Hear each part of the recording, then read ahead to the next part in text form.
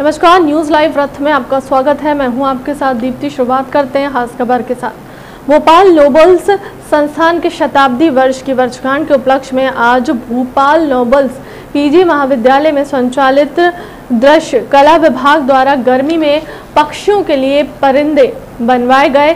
BN विश्वविद्यालय के registered परबत सिंह राठौड़ महाविद्यालय अधिष्ठता डॉक्टर रेणु राठौर ने बताया, दृश्य कला विभाग की सह आचार्य डॉक्टर कंचन रावत के मार्गदर्शन में उत्कृष्ट कला का प्रदर्शन देते हुए विद्यार्थियों द्वारा 21 परिंदे अब सभी पर चित्रकारी की गई। इसमें फूल पंतियाँ चुड़िया, तोते, मोर आदि बनाकर पीजी कॉलेज में लगाए गए।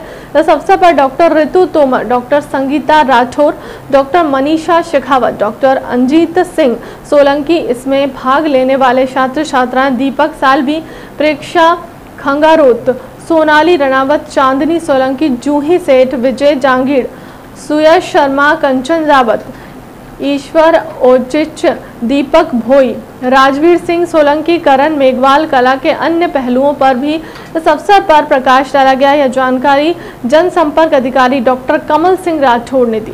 इस खबर के प्रायोजक है सुदर्शन ज्योतिष उपाय, वास्तुशास्त्र ज्योतिष अंक शास्त्र कुंडली ज्ञान अंक ज्योतिष, वैदिक ज्योतिष, प्रश्न कुंडली, हस्तरेखा ज्ञान, सौ प्रतिशत जीवन समस्या और संतुष्टि। रवि कुमार सोनी, रेकी मास्टर और ज्योति वृद्ध। फ़िलहाल के अब तक की खबरों में इतना ही। देश दुनिया के तमाम बड़ी खबरों के लिए बने रहे हमारे चैनल के साथ। नमस्कार।